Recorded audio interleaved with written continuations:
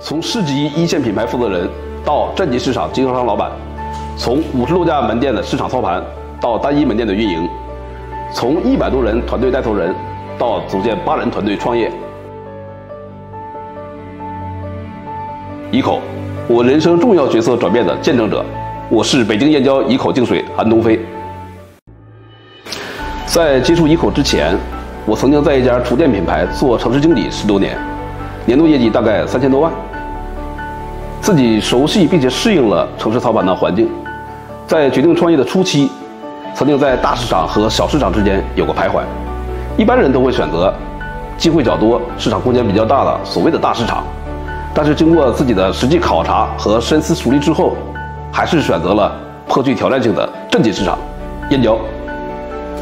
镇和市两个市场环境相差悬殊，完全不是一个概念。无论是在市场需求、消费能力，还是在消费习惯上，都有很大的差异。面对这样的差异，一口在当地究竟怎么个干法，是个关键问题。镇级市场规模虽小，但是在品牌运营上，我们决定按照地级市的思路去操作。在与团队骨干成员研讨之后，我们确定了现有的业务模式：一家专卖店加多家分销店加自营的售后服务。工厂周总曾经说过：“差的人可以把好的生意做差，好的人可以把差的生意做好。”所谓营销是经营品牌和销售产品，能力再强的个人也干不了这两件事儿。个人永远干不过团队，这就需要一群人围绕同一个目标去勤勤恳恳的攻坚克难。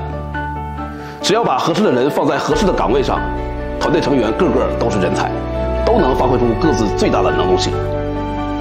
知道怡口是净水行业的第一品牌，想要做好，但开始不知道怎么干，感觉要做的事儿很多，一时不知道从哪着手。现在呢，分工就很明确了，经理也很专注，我主要负责紧盯门店销售，带领员工推动各项拓客工作，以确保每月销售目标的达成。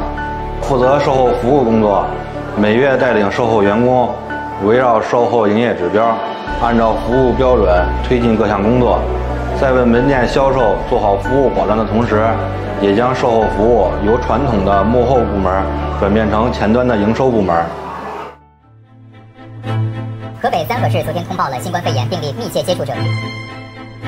二一年的生意刚上轨道，二二年的疫情对我们也造成了很大的冲击，没有营业收入，没有销售机会，也没有上门服务的机会。只能居家煎熬。封控两个月之后，第一次解封，大家出行都比较谨慎，商场也没有开，销售依旧低迷。但是这个节点，耗材成了我们的救命稻草。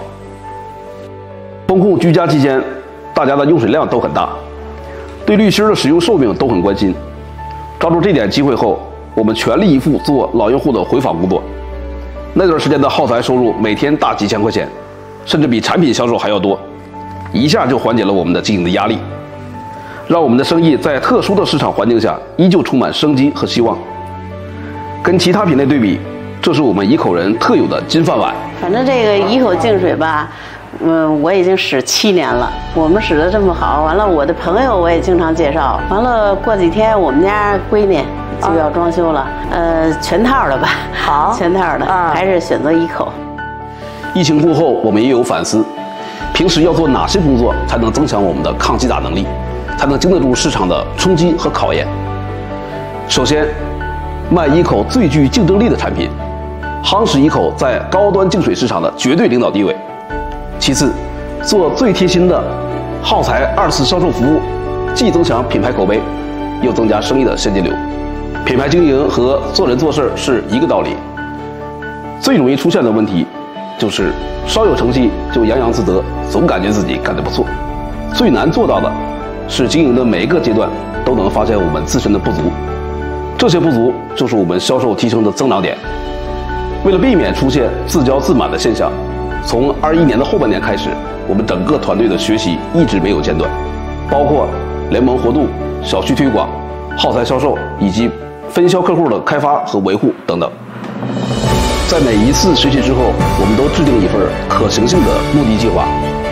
只要把学到的东西真正落实到工作中，会发现我们的工作的确有相应的提升。和改善。长期保持学习的心态，是怡口在当地持续增长的强有力保障。怡口作为高端净水的帮架标品牌，在引领整个行业趋势的同时，也带领我们这一批怡口人，在各自不同的区域逐步实现自我价值。为了让更多的用户体验到更健康的饮水，我们将在怡口的道路上坚持做正确的事儿，坚持把正确的事儿做到位。